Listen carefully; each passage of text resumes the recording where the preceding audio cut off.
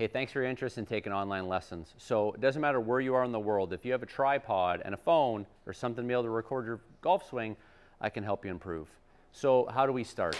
Our first lesson together, our first session, which we'll call an assessment, we're gonna do a few things. I'm gonna send you some questions I want you to answer that are talking about your golf game and a little bit of your history with your golf game.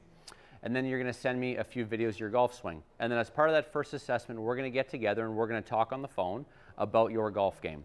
So session one, we're gonna overview, I'm gonna get to know you a little bit, I'm gonna get to see your golf swing, and then we're gonna talk about it face to face and learn a little bit about where you are right now and where you wanna get to.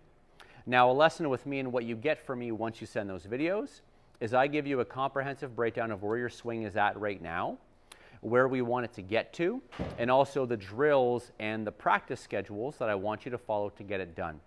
So what you'll get back from me is you'll get a detailed overview of your swing.